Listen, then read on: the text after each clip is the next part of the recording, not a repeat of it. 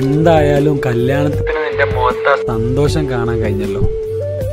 നാലഞ്ച് കൊല്ലം സ്നേഹിച്ചിട്ടും ആ ഓർമ്മ പോലും നിനക്കില്ല. എന്തായാലും സന്തോഷമുണ്ട്.